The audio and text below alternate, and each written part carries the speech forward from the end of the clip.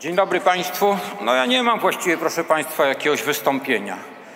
Chciałbym serdecznie Państwa w imieniu Fundacji przywitać i kilka takich refleksji z pozycji dojrzałego człowieka, ekonomisty, który już prawie pół wieku wykłada na wyższych uczelniach, a w szczególności historię myśli ekonomicznej. A przede wszystkim chciałbym poświęcić kilka słów yy, patronowi naszej fundacji, świętej pamięci Sławomirowi Skrzypkowi i przedstawić go na tle yy, szerszego kontekstu. Ja się wychowałem, proszę Państwa, na takim ekonomiście, którego uważam za najwybitniejszego ekonomistę wszechczasów, przynajmniej jak do tej pory, bo tu siedzi wiele dobrze zapowiadających się ekonomistów na sali, czyli Józefie Alojzie Schumpeterze. Schumpeter uważał, i w pełni ten pogląd podzielam, że historia cywilizacji ludzkiej, w tym historia gospodarcza, dzieje się poprzez wielkich ludzi. To szczególne jednostki, wybitne jednostki, obdarzone pewnymi cechami, to jest politycznie niepoprawne może, ale także biologicznie pewnymi cechami, tworzą historię ludzkości. Decydują o losie cywilizacji, decydują o tym, że jest rozwój gospodarczy, że jakaś cywilizacja się wspina na wyżyny, a brak tych jednostek powoduje potem kryzysy i ich upadek. Polska, jak Państwo wiedzą, znajduje się w tej chwili w fazie wznoszącej i wszystko jest przed nami. Otóż w moim przekonaniu jedną z takich osób, które właśnie tworzą historię, które były przedsiębiorcą w pełnym tego słowa znaczeniu, bo te osoby Schumpeter nazwał przedsiębiorcami. To jest to słynna jego koncepcja przedsiębiorcy, przedsiębiorczości. On był świętej pamięci Sławomir Skrzypek. Poznałem go i znałem jakieś, poznałem go na początku lat 90., go znałem kilkadziesiąt lat. To był człowiek wychowany w specyficzny sposób. W takiej tradycyjnej polskiej rodzinie, gdzie wartości patriotyczne były wpajane dzieciom od małego, gdzie słowo Bóg, honor, ojczyzna znaczyły zawsze najwięcej. A on był po prostu w każdym calu przepełniony patriotyzmem, nie bójmy się tego słowa, miłością do, do Polski, do ojczyzny, niezależnie od okoliczności, w których mu przyszło tego bronić. No Sławek był człowiekiem, który w szkole średniej działał niepodległościowo. Nieliczne osoby w ten sposób się zachowywały.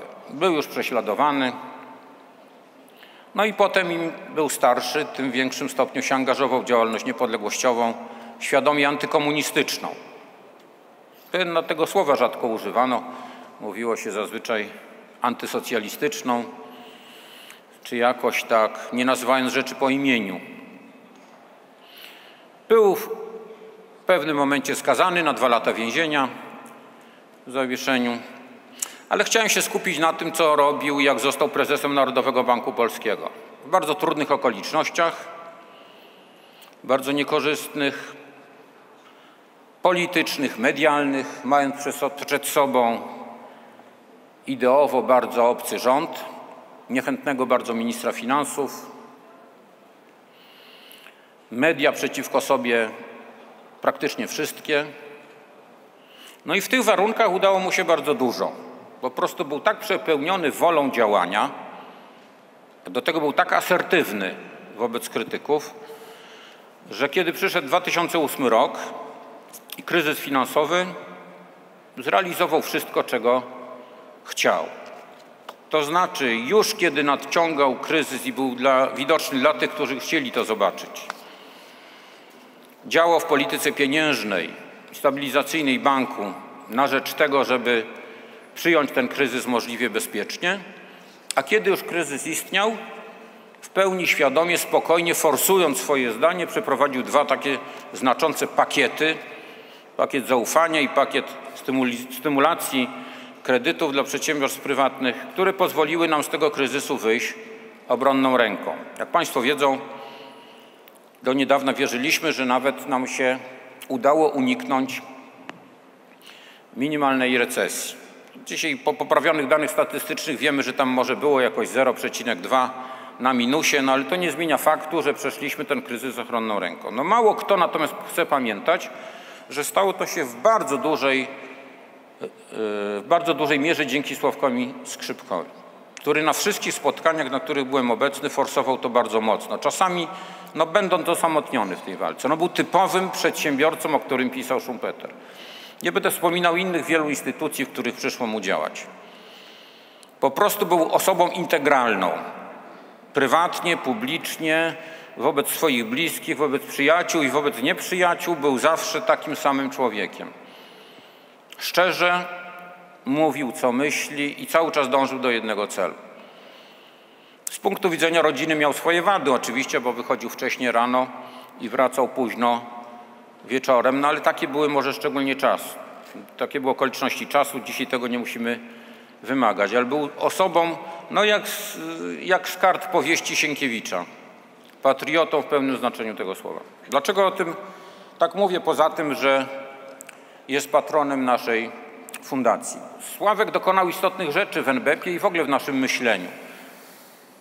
Wykorzystał to, co w ustawie o NBP mamy, czyli to, że NBP nie tylko te podstawowe funkcje sprawuje, o których jest mowa i o których wszyscy wiedzą, ale wskazał na bardzo znaczące płaszczyzny działania Narodowego Banku Polskiego, jakim jest edukacja, kształtowanie właściwych postaw, polskich postaw, patriotycznych postaw, ekonomicznych postaw, gospodarczych postaw, oszczędności itd. Tak Uruchomił wiele inicjatyw edukacyjnych, które do dzisiaj są żywe i są kontynuowane. No i dziełem jego życia, jeśli chodzi o Narodowy Bank Polski, jest uruchomienie, jest uruchomienie inicjatywy budowy Centrum Pieniądza, które się w tej chwili nazywa Centrum Pieniądze imienia Sławomira Skrzypka i do którego Państwa serdecznie zapraszam. To jest placówka z wielkimi perspektywami działania. Ma niesamowite zbiory, to jest najlepsza placówka w Europie, może na świecie, nie sprawdzałem jeszcze tego, gdzie jest naprawdę potężny potencjał edukacyjny, a jednocześnie prestiżowy. Każdy prezes banku zagranicznego po oprowadzeniu po naszym centrum jest pod dużym wrażeniem. Jeszcze tam pewne rzeczy musimy dopracować, żeby to było może bardziej e, proste w odbiorze, e, jednoznaczne, ale już w tej chwili wywiera ogromne, ogromne wrażenie. Sławek w ten sposób się uplasował na liście, długiej liście polskich strategów gospodarczych, jakby to trzeba powiedzieć, którzy odegrali w Polsce znaczącą rolę. No los Polski jest taki, że nie tylko komunizm i przedtem inna odmiana lewicowego myślenia, narodowy socjalizm przeorał Polskę dogłębnie. Mieliśmy jeszcze potop szwedzki, jak Państwo wiedzą, który jest trochę niedoceniany z punktu widzenia historii gospodarczej, który nas bardzo cofnął w rozwoju. Generalnie rzecz biorąc, takie zapóźnienie Polski rozwojowe to nie jest nowa rzecz. To jest coś, co zaczyna się w XVII wieku. A jeszcze, proszę Państwa, według najnowszych badań w 1800 roku polskie PKB na głowę to było jakieś 80% PKB w najbardziej rozwiniętych krajach zachodu Europy. 80%. Już 50 lat później to było poniżej 50%. Polska ominęła rewolucja przemysłowa z powodu braku niepodległości. Właściwie jakaś taka forma zwyrodniałej rewolucji przemysłowej dokonała się dopiero w czasach stalinowskich po II wojnie światowej. I to nasze zapóźnienie jest jakby stałym takim elementem. Komunizm pogłębił pewne dysproporcje, a przede wszystkim zrujnował morale społeczeństwa, wyciął elity, nie pozwolił wykształcić młodych, nie pozwolił uwolnić energii, co jest hasłem naszej, naszej konferencji. No i ja w miarę swoich możliwości, kontynuując misję Sławomira Skrzypka, chciałbym, żeby Narodowy Bank Polski współpracując z uczelniami polskimi, utrwalił pewne zasady i pewne tradycje myślenia o Polsce, zarówno jeśli chodzi o polską ekonomię, jak i o polską strategię gospodarczą. Chciałbym, żeby na zawsze dzięki Centrum Pieniądza i naszej działalności kilka nazwisk, czy kilkanaście nazwisk, które wypadły z nauczania w szkołach i na uczelniach, utrwaliło się w pamięci Polaków. Takie nazwiska jak przedstawiciele Szkoły Historyczno-Narodowej, na przykład w ekonomii. Roman Rybarski, Stanisław Głąbiński, Stanisław Grabski, Tadeusz Brzeski. Czy nasi wspaniałe liberałowie krakowscy i poznańscy. Ferdynand Cwajk, Adam Hejdel, Jan Stanisław Lewiński, Adam Krzyżanowski. Czy wspaniali ekonomiści ze szkoły katolickiej, z kierunku katolickiego, całkiem wyparci z nauczania, jak Antoni Szymanowski, Antoni Roszkowski, świetny Leopold Karo. Nie istnieją świadomości publicznej, nie nawiązuje się do nich, nie cytuję. No czy wreszcie Michał Kalecki, jedyny ekonomista powojenny, którego mógłbym z czystym sumieniem wskazać. Powiedzmy z, lewicowej, z lewicowego nurtu keynesizmu. Cały okres powojenny do dzisiaj, nikomu nic nie umniejszając, nie obrażając, no nie przyniósł żadnych znaczących nazwisk poza Michałem Kaleckim. Ale jeszcze bardziej interesujące i ważne jest przypominanie dokonań polskich strategów gospodarczych.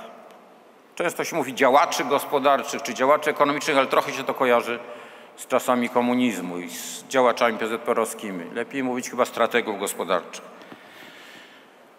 Do tamtych nazwisk poprzednich zresztą oczywiście trzeba też dodać Mikołaja Kopernika, którego nie wspomniałem, do którego trudno jakieś szkoły zaliczyć, ale trzeba zawsze podkreślać, że był wielkim polskim ekonomistą, największym czy jednym z kilku największych w swoich czasach w Europie. Wydamy w przyszłym roku, zaczniemy wydawać serię monet.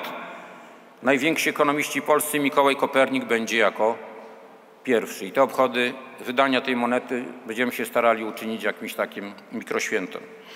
Ale proszę Państwa, Stanisław Staszic, pierwszy wielki strateg, strateg gospodarczy Polski, jego ogromne dokonania, przeoranie świadomości społecznej także, ale uruchamianie szkół, świadomość pełna, że edukacja młodych ludzi jest podstawą. Zalążki spółdzielczości, która odegrała tak ogromną rolę potem w historii gospodarczej Polski aż do II wojny światowej.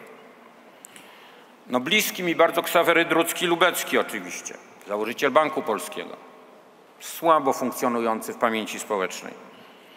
Wszyscy ci działacze z pruskiego zaboru, Marcinkowski, Cegielski, Kłapowski, ich wielki wkład w myślenie ekonomiczne, gospodarcze, nowoczesne, na najwyższym światowym poziomie. No i wreszcie Kwiatkowski, Eugeniusz Kwiatkowski, w tej części Polski, w której się teraz znajdujemy, tak doskonale znany, z całą historią Centralnego Okręgu Przemysłowego, tak ważną, tak znaczącą. Będziemy też organizowali wydarzenia związane e, poprzez wydanie monety o Centralnym Okręgu Przemysłowym. Gdzieś w tym rejonie będziemy też organizowali wydarzenia z tym związane. Znane wydarzenie, ale słabo w świadomości społecznej zakorzenione. Jak Polska międzywojenna w tak trudnych warunkach materialnych administracyjnych, politycznych, porozbiorowych była w stanie dokonać tak zmasowanego, energicznego, nowoczesnego, intensywnego wysiłku rozwojowego. To jest naprawdę imponujące i nigdy nie dość studiować to doświadczenie. Ale ciekawszy przykład jeszcze Gdyni. COP jest szczególnie tutaj dobrze może znany i dyskutowany, ale Gdynia. W szczerym polu wybudowana tak wspaniała inwestycja. Początkowo nie było żadnych źródeł finansowania tego. Jak nowoczesne, pomysłowe instrumenty finansowe wymyślił Kwiatkowski ze swoimi współpracownikami. W dużej mierze Gdynia była finansowana poprzez sprzedaż koncesji praw do użytkowania nabrzeży portowych, podczas gdy mieliśmy jeszcze tylko pustą przestrzeń do zabudowania. W dużej mierze sprzedawano jak gdyby przyszłe możliwości działania w porcie. I to się udało. Nie tylko budowa portu, budowa całej infrastruktury stojącej za portem, budowa statków. Wielkie przedsięwzięcia. Chciałbym, proszę Państwa, jeden cytat Państwu przeczytać, właśnie Eugeniusza Kwiatkowskiego, który myślę niesłychanie dobrze pasuje do tego, o czym teraz myślimy w Polsce w 2016 roku. W tym bowiem miejscu Europy gdzie leży Polska, istnieć może tylko państwo silne, rządne, świadome swych trudności i swego celu, wolne, rozwijające bujnie indywidualne wartości każdego człowieka, a więc demokratyczne, zwarte i zorganizowane, solidarne i silne wewnętrznie, budzące szacunek na zewnątrz, przeniknięte walorami kultury i cywilizacji. Państwo nowoczesne, zachodnie, mnożące w wyścigu pracy własne wartości i materialne, i moralne.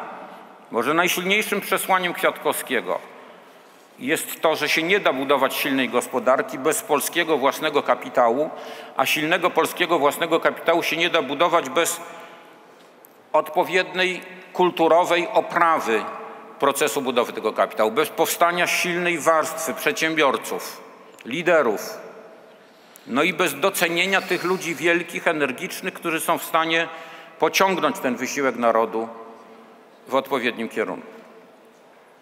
Na pół żartobliwie, na pół poważnie chciałbym życzyć obecnemu tu premierowi Mateuszowi Morawieckiemu, żeby do tej listy wspaniałych polskich strategów gospodarczych dołączył. Zrobimy wszystko, żeby mu w tym pomóc i żeby za 10 lat można było go doceniać tutaj i obchodzić dziesięciolecie jego działania z tego punktu widzenia. A teraz, jeśli Państwo pozwolą, I have a great privilege to congratulate to Mrs. Rita Cosby-Kosobucka.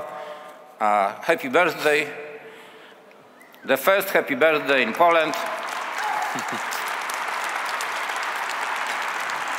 we, invite, we invite you to the Tego, proszę Państwa, w scenariuszu nie było. Jeśli mogę prosić o wielkie brawa.